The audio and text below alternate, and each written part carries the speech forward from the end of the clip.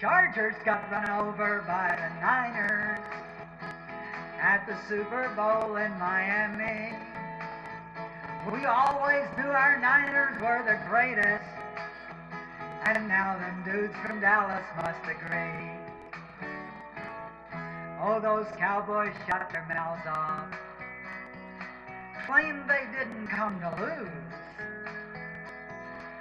But the spanking that we gave them illustrates that even cowgirls get the blues. Now we face those upstart chargers. They'll be needing all their skills. Ah, but it won't make no difference, cause they'll end up like the Broncos and the Bills. Chargers got run over by the Niners at the Super Bowl in Miami. We always knew our Niners were the greatest. Now smiling Georgie Seifert will agree. Now there's been some controversy when that prime time starts to prance. But the way Deion delivers, my God, he makes us all jump up and dance. You gotta hand it to those Chargers. No doubt they've got some guts.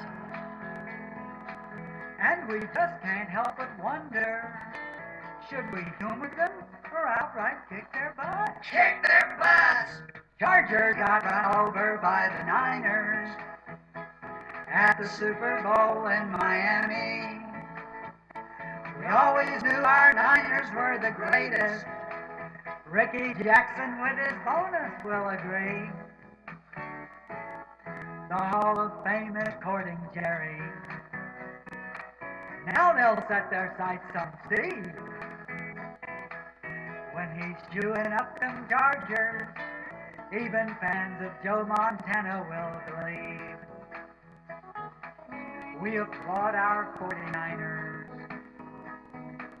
Each one is a shining star.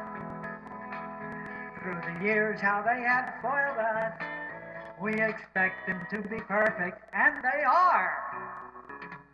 Chargers got run over by the Niners at the Super Bowl in Miami.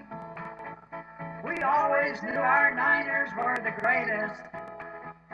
And now the whole dang country will agree. Sing it, cowgirls! Chargers got run over by the Niners at the Super Bowl in Miami. San Francisco makes them the greatest team in history.